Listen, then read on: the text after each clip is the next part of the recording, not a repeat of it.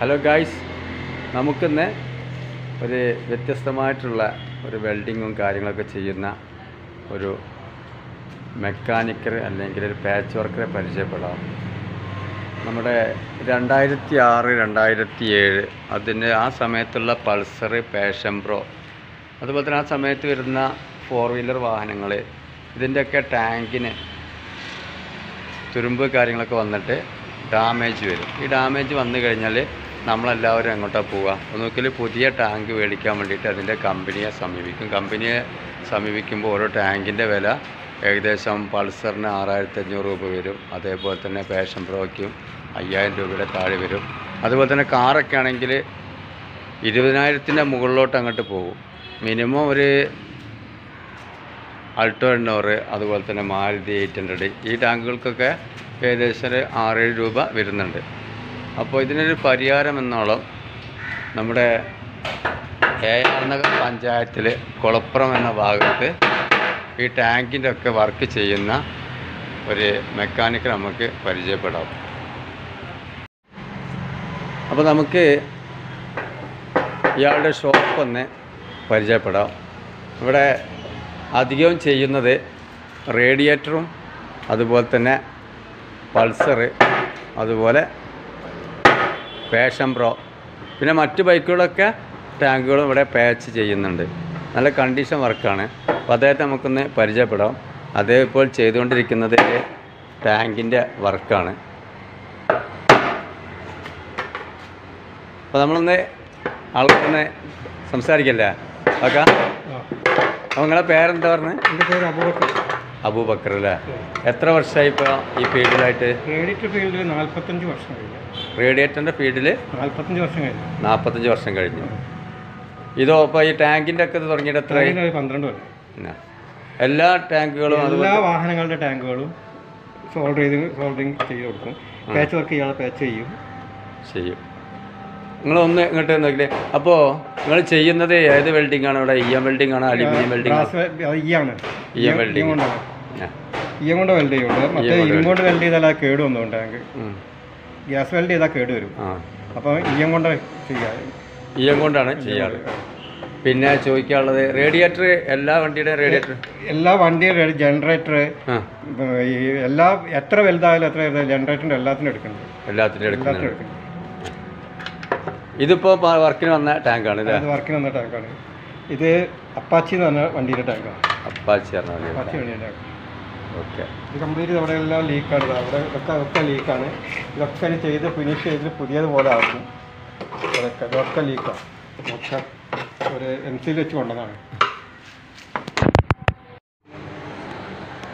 നമുക്ക് ഇദ്ദേഹം ചെയ്തു വെച്ചിട്ടുള്ള ഒരു പൾസറിന്റെ ടാങ്ക് അതിവിടെ കാണിക്കാൻ പോവാണ്. അപ്പോൾ അതിനെക്കുറിച്ചിട്ട് സംസാരിക്കാം. ഇത് പൾസറിന്റെ ടാങ്ക് അല്ലേ പൾസറിന്റെ അപ്പൊ ചെയ്താണ്. കംപ്ലീറ്റ് ലീക്ക് ആയിരുന്നു കംപ്ലീറ്റ് ലീക്ക് ചെയ്ത കംപ്ലീറ്റ് ചെയ്ത് വെച്ചാൽ എല്ലാ ഭാഗം ഇപ്പൊ അതിന് പൾസറിന്റെ ടാങ്ക് തന്നെ കിട്ടാനില്ല ഏഴായിരം ആയിരത്തി അഞ്ഞൂറ് ഉറുപ്പ് കൊടുത്താൽ കമ്പനി തന്നെ. കിട്ടാനില്ല. ഇതാകുമ്പോൾ അങ്ങനെ ചെയ്ത് കഴിഞ്ഞാൽ പിന്നെയും കുറേ കാലം ഉപയോഗിക്കാം. ഇപ്പം വരുന്ന പുതിയ ടാങ്ക് എന്ന് വെച്ചാൽ അത്യാവശ്യം ഒന്നിനും പറ്റുന്നില്ലേ? കനം കുറഞ്ഞ ടാങ്കായിട്ട് ഇതിപ്പോൾ എവിടെയൊക്കെ ചെയ്തിട്ടുണ്ട്? വെളുത്ത് കാണുന്ന ആ ഭാഗങ്ങളെല്ലാം ചെയ്തതാണ് അത് കാണുന്നുണ്ട് ഈ ഭാഗങ്ങളിലൊക്കെ.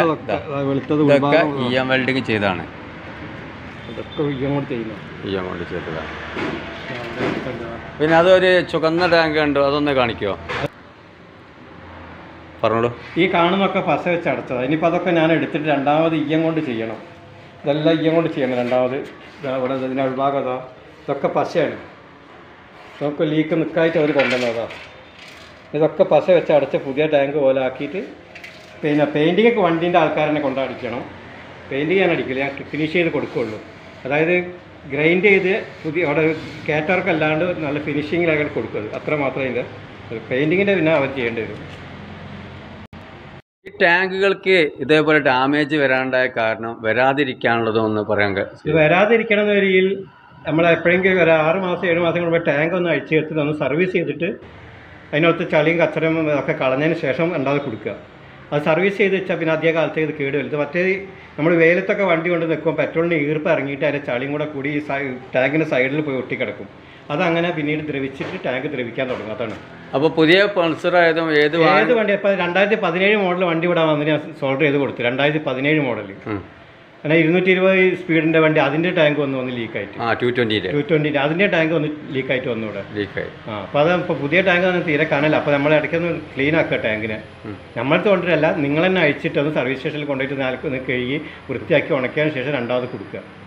പെട്രോൾ എല്ലാ സ്ഥലത്തും അടിച്ചാലും പെട്രോൾ കണക്കാം. പെട്രോളിന്റെ വെള്ളത്തിന്റെ എല്ലാ പ്രശ്നവും. നമ്മൾ വെയിലത്തൊക്കെ വണ്ടി വെക്കുമ്പോൾ ചൂടാകുമ്പോൾ അത് അതിനകത്ത് ഈർപ്പം വരും. വെള്ളത്തിന് വെള്ളത്തിൽ ആവി പോലെ വരും. ആ ആവി വെള്ളമായിട്ട് അടിയിൽ ഇറങ്ങിയിട്ട് അടിഭാഗത്താണ് വെള്ളം നിൽക്കുക. പെട്രോൾ മുകളിലുണ്ടാവുള്ളൂ. അതാണ് കാരണം. അതാണ് കാരണം അല്ലാതെ ടാങ്കിലേക്ക് വെള്ളം മഴ കൊണ്ടിട്ട് മഴ കൊണ്ടിട്ടൊന്നുമല്ല മഴ കൊണ്ട് വെള്ളം ഇറങ്ങാനുള്ള സാധ്യത വളരെ കുറവാണ് ഓക്കെ ഓക്കെ. അത് നമുക്ക് എല്ലാവർക്കും അറിയാൻ സാധിച്ചു. മൂപ്പര് ഇത് അനുഭവത്തിൽ നിന്നുള്ളൊരു അറിവ് നമുക്ക് പകർന്നു നൽകിയിട്ടുണ്ട്. റേഡിയേറ്റർ എന്ന് പറഞ്ഞാൽ നമ്മൾ വെള്ളം ഇടയ്ക്കിടയ്ക്ക് ചേഞ്ച് ചെയ്ത് കൊടുക്കണം. നമ്മൾ ഒരു വണ്ടിയിൽ വെള്ളം കയറ്റി ഇപ്പോൾ ഇപ്പോഴത്തെ കാലത്ത് എന്താ പുതിയ ഈ വണ്ടിയിലെ ഒറിജിനൽ വെള്ളം പാർന്നു കഴിഞ്ഞാൽ നമ്മൾ പിന്നെ ശ്രദ്ധിക്കൂല അത്. അങ്ങനെ ആകുമ്പോൾ ഒറിജിനൽ വെള്ളമാണെന്ന രീതിയിൽ ഇടയ്ക്ക് എപ്പോഴായാലും നമ്മൾ ഇടയ്ക്കൊന്ന് വണ്ടിയെ നോക്കുക. വെള്ളം ഒന്ന് നോക്കുക. അതിന് വെള്ളം ക്ലിയർ ഉണ്ടോ? അത് വെള്ളത്തിന് അടിഭാഗത്ത് ഈ ഒരു കാർക്ക് ഉണ്ടാവും. അടിഭാഗത്തോടെ ഒരു കാർക്ക് ഉണ്ടാവും.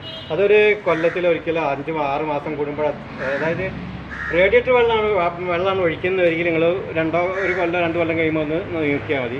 സാധാ വെള്ളം സാധാ വെള്ളം നിങ്ങൾ ഉപയോഗിക്കുന്ന ഒരിക്കലും ആറ് മാസത്തിൽ ഒരിക്കലെങ്കിലും ഒന്ന് ഇത് വെച്ചിട്ട് വെള്ളം ഒഴിവാക്കുക. സാധാ വെള്ളമാണെങ്കിൽ സാധാ വാട്ടർ വെള്ളം ഉപയോഗിക്കുകയാണെങ്കിൽ ആറ് മാസം ഒരിക്കലെങ്കിലും ഇത് ക്ലീൻ ആക്കണം. ആറ് മാസം ഒരിക്കൽ ക്ലീൻ അയച്ച് ക്ലീൻ ആക്കുക. ഈ കാർക്ക് മാത്രം ഈ കാർക്ക് മാത്രം അയച്ചിട്ട് ഇതതിനെ എല്ലാവർക്കും അഴിക്കാൻ സാധിക്കും എല്ലാവർക്കും ആ വണ്ടിയിൽ കൂടെ കൈയിട്ട് ആർക്കും അയക്കാൻ കഴിയുന്ന സാധനം അങ്ങനെ?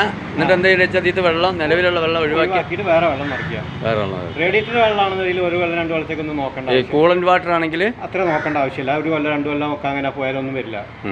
അല്ലാത്ത വെള്ളമാണ് നിങ്ങൾ അത് വെള്ളം കുറയുമ്പോൾ സാധാ വെള്ളം അതിൽ പാർന്ന് പോയാൽ അപ്പം നിങ്ങൾക്ക് തുരുമ്പ് വരും അതിനകത്ത്. ചളി വരും. ആ ചളി വന്നു കഴിഞ്ഞാൽ ഓരോ ഷെല്ലിന്റെ ഈ മുകൾ ഈ കാണുന്ന ഭാഗങ്ങളിലെല്ലാം വന്ന് അടയും. ഈ കാണുന്ന ഭാഗങ്ങളിലെല്ലാം അടഞ്ഞിട്ട് പിന്നെ അത് നമ്മൾ അവിടെ കൊണ്ടുവന്നാൽ കുത്തി തുറക്കണം ഓരോന്ന്. അപ്പോഴേ അതിന് ക്ലിയർ ആവുള്ളൂ. അപ്പോൾ ക്ലിയർ ആണെന്ന് വരിയിൽ ആദ്യം തന്നെ നമ്മൾ ആറ് മാസത്തിലൊരിക്കൽ സാധാ വെള്ളമാണെങ്കിൽ ആറ് മാസം മറ്റേ രണ്ട് മാസത്തിലൊരിക്കൽ രണ്ട് കൊല്ലത്തിലൊരിക്കലെങ്കിലും അതൊന്ന് തുറന്ന് ആ വെള്ളം ഒന്ന് ഒഴിവാക്കി തുറക്കുമ്പോൾ തന്നെ ആ വെള്ളം തന്നെ ഒഴിവാക്കേണ്ട ആവശ്യമില്ല. ആ കുളന്താണെന്ന് വെച്ചാൽ ആ കുളന് വേറെ പാത്രത്തിൽ എടുത്ത് വെച്ചിട്ട് വെള്ളം പാർന്ന് ക്ലീൻ ആക്കിയ റെഡിറ്റ് ക്ലീൻ ആക്കിയതിന് ശേഷം ഈ വെള്ളം തന്നെ മോളും തെളിയതിനെ തന്നെ പാര. അത് ഒഴിവാക്കേണ്ട ആവശ്യമില്ല. Okay okay. ശരി. സുഹൃത്തുക്കളെ അപ്പോൾ ഈ ഒരു അറിവ് നിങ്ങൾക്ക് എല്ലാവർക്കും ഉണ്ടായിരിക്കാം. പക്ഷേ ഇപ്പോഴത്തെ ന്യൂ ജനറേഷനെ ഇതിനെക്കുറിച്ച് അറിയാൻ ചാൻസ് ഇല്ല. കാരണം എന്താ വെച്ചാൽ പുതിയ വാഹനങ്ങൾ എടുക്കുക അത് റൈഡ് ചെയ്യുക. എന്നൊരു ഉദ്ദേശം മാത്രമാണ് പുതിയ ജനറേഷനുള്ളൂ.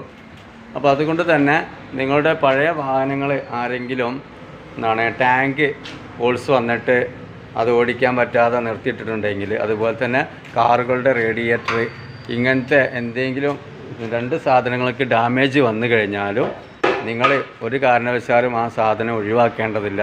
എത്ര വലിയ ഹോൾസ് ആയാലും ഇദ്ദേഹം അടച്ചു തരും.